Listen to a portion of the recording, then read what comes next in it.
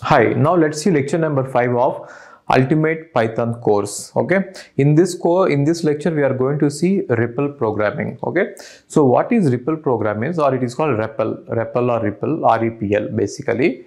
So when you want to do learn about Python interactively, or if you want to do some debugging, then REPL programming is going to be helpful. So what is REPL? Okay, don't write these slides. Don't write anything on your notes. Don't prepare the notes. The entire lecture notes and these slides, these slides will be provided to you in the description. Okay, don't write notes. So now what is REPL is read, evaluate, print loop. What does it mean? You can give any input to the Python.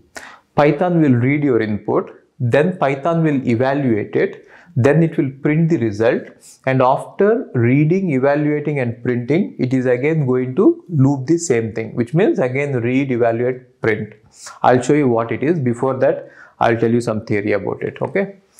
So what is REPL is it is a programming environment which means it is helpful for you to write the programs that allows the user to input code. You can give the input and then Python will evaluate it and then the results will be shown in real time which means you will be interacting with it.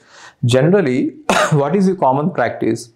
We write the entire program execute it at a whole then we are going to see the output of the program but here line by line you can see the output of the program that is the advantage of REPL programming okay so basically REPL programming is helpful for developers who want to test the code REPL programming is helpful for developers who want to test the code, debug the code and also who want to learn Python. So REPL is present in many languages. For example, JavaScript also has REPL.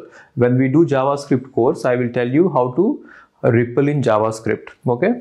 And Python also has REPL and Ruby also has REPL. and there are many uh, programming languages which has REPL. This is useful for the beginners and also experienced developers for debugging. Beginners can learn coding, experienced debuggers can, developers can debug the code. Now what is the purpose? So it will read the input, evaluate the input and print the output and again the same thing will happen. Read evaluate print. Read evaluate evaluate print right? So this is ideal for quick test which means you can quickly test a program right? And it is helpful for debugging and also for learning python interactively. So how to launch REPL so what is this environment? How to launch it? So open the command prompt. So in windows if you go to search and then type cmd, command prompt will be opened, right? In other programming, in other operating systems, you just Google out how to open the command prompt. Now, once the command prompt is open, then you type Python or Python 3. Then what happens is you are going to get three greater than symbols. You will get greater than, greater than, greater than. Three greater than symbols you will get. What is the meaning of these three greater than symbol is that REPL has started. Now you can give the prompts at the three greater than symbols okay? Now once you are done with uh, giving the prompts and once you are done with uh, REPL if you want to exit from REPL you can use exit or quit okay? Now we will see how to open the command prompt how to launch REPL, how to do programming in this environment. So first thing is go to search and you type cmd now that is going to open command prompt okay now here you can check the Python version by giving Python hyphen hyphen version. Now its version is 3.13.0 so latest version. Now then you are going to give Python command and REPL has started right command prompt of REPL has begun. There you can give any command for example 5 plus 3 if you want to calculate it will give you 8. for example a equal to 10, b equal to let us say 5 and now if you type a plus b it will give you 15 which means interactively you are getting the output. You don't have to write the entire program and see the output. You can see the output whenever you want. Now if you try to print something, so this is a string. When you write something within the uh, double quotes that is called as a string so uh, when we go to strings, we will see about what a string is and all. From here, don't worry about it. Just type print something, then it will print that, okay? and if you want to find the length of a these are all inbuilt functions see print is an inbuilt function which means it comes by default you don't have to write that function you can directly use it now similarly length is a length is a uh, also a inbuilt function. It will give you the length of the string. For example if i write len rbr it is going to give me 3 and then eval.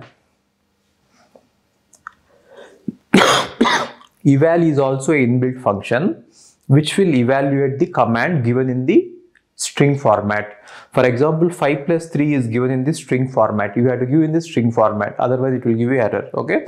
So strings I will tell you, if you don't know about it, you don't know about it, but let's wait. Now we can also find out square root of a number.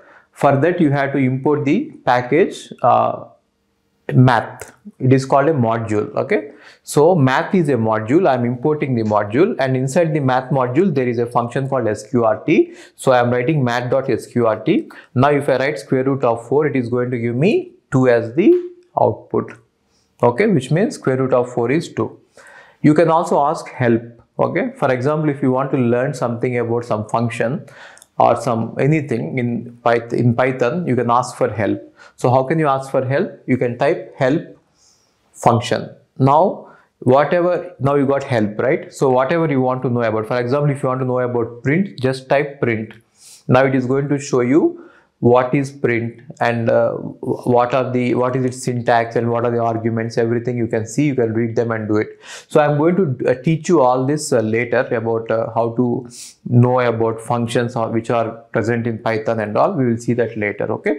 For now this is sufficient. Just play with it you know? Now if you want to exit from the REPL you can type exit or quit.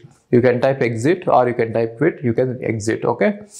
See I'm giving you this course for free and it is taking hell a lot of time and effort from me and my team.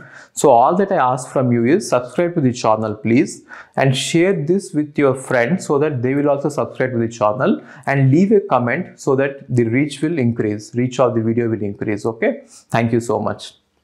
Hi everyone, I hope you have liked our YouTube videos which are given for free. Most of our courses for free but there are some paid courses as well.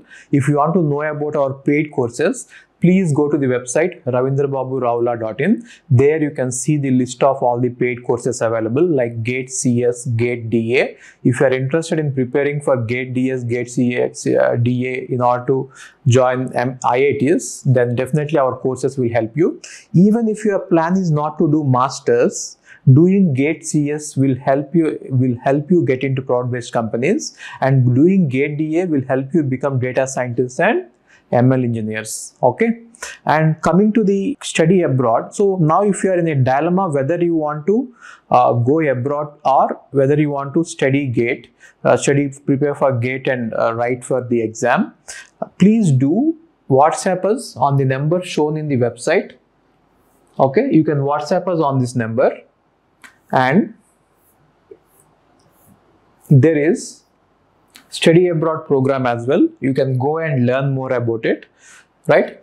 So either you want to go for ms or uh, either you want to go for mtech or you want to join a software industry in a product based company we have all the courses required on our website and all these courses are amazing courses. You will definitely love it if you are loving the youtube courses. Okay? Thank you